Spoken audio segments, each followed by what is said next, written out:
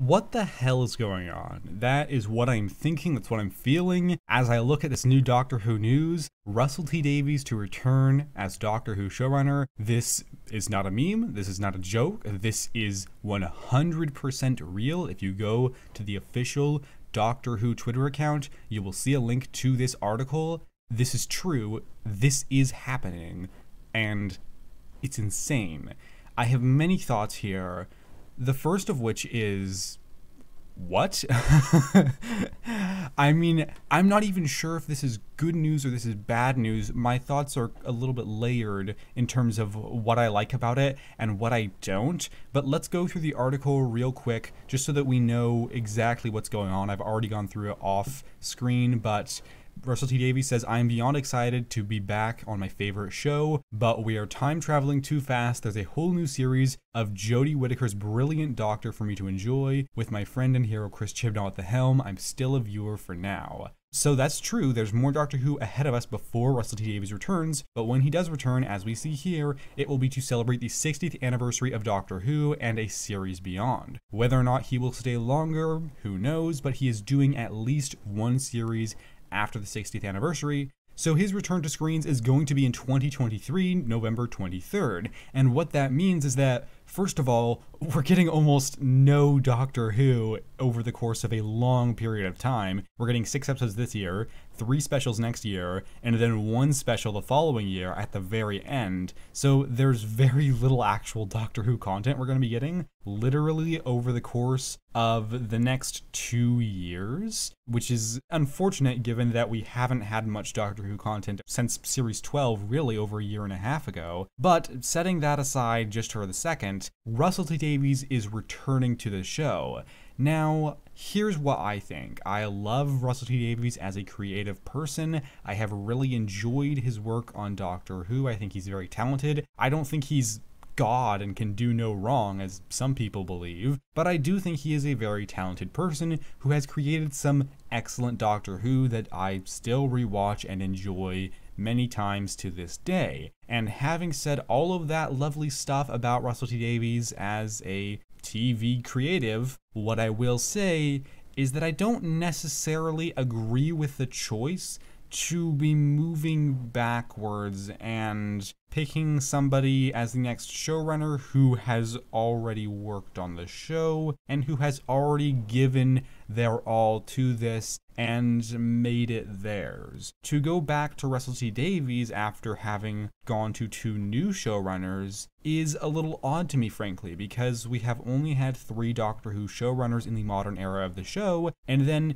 picking Russell T Davies, getting him to come back, is just very strange to me because it means that we are moving backwards and going to somebody who has already worked on the show and, like I said, already given it his all. So it's a bit of an odd thing because, as much as I am a big fan of Russell T Davies, and honestly, I genuinely look forward to seeing what he does with the special and the series beyond, I do feel a little bit odd about the fact that we are not getting a new person to work on the show. Now, odds are he won't stay on for that long. It says 2023 and a series beyond. Maybe he'll opt to stay for another year or two, or maybe he'll stop it there, but he probably won't be staying on for, you know, five years like Chibnall did.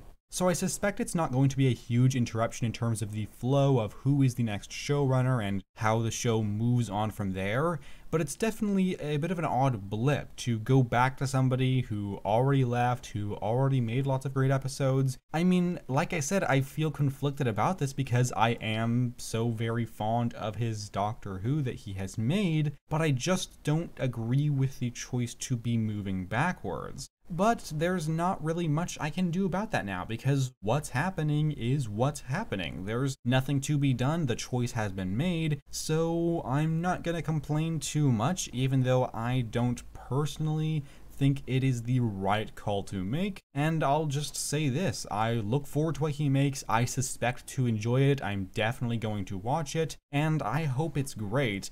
And I also look forward to the other nine episodes of Doctor Who that we're going to get over the course of 2021 and 2022 before he actually returns. But this really is some massive news because this is not something that happens like at all. There aren't really cases of somebody leaving the show and then coming back to it to showrun after having already showrun for a few years. I mean, that doesn't really happen, at least in the modern era. So it's definitely strange to me.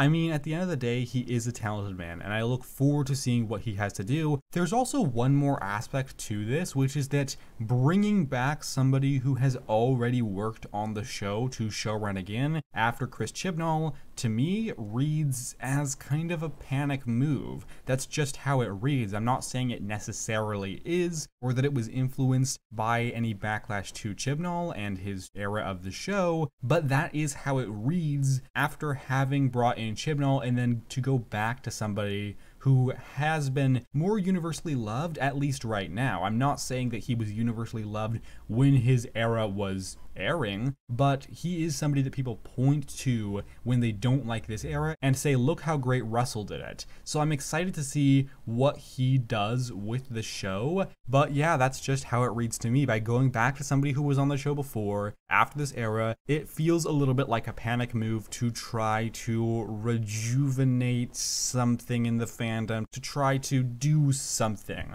I could be entirely wrong. I don't know. It's also possible they want something a little bit more like it was with the David Tennant era of the show. I don't really know why these decisions were made. What I do know is that they were made, and while I am not entirely happy with them, I certainly look forward to seeing what the man does with the show and what we are going to get for the special in just over two years, in about 26 months. So this is not happening anytime soon. I mean, we're talking about something because it is breaking news, but this is not something we really have to concern ourselves with too much because we have nine more episodes under Chris Chibnall before we even get the 60th anniversary special, which, yes, as I said, means, man, there is so little Doctor Who coming out. I mean, it makes it a little bit easier for me because I'm reviewing Classic Who and I'm really busy, but Jesus, this show comes out so slowly. I don't complain too much because, you know, I get it. TV is just made that way these days. But it is what it is. What are your thoughts on this breaking news? How does it read to you to have Russell T Davies be picked as the showrunner after having already done it for a few years? I would love to know your thoughts. Just keep them respectful. Don't be a horrible person or something like that. And having said all that, I was supposed to be editing a different video, so I'm going to get back to editing that video after this one's done. And I hope to see you around soon for more Doctor Who reviews reviews and rankings. I should have a season 13 review on the way shortly, followed by some series 13 reviews whenever that starts. We haven't had any news about when that's actually going to start, have we? So hopefully we get some of that soon and I will be able to talk about it. So I hope to see you around for some of that in the future, but if not, that is totally cool, so long as you know that I appreciate your time here today. And with that said, thank you very much for watching.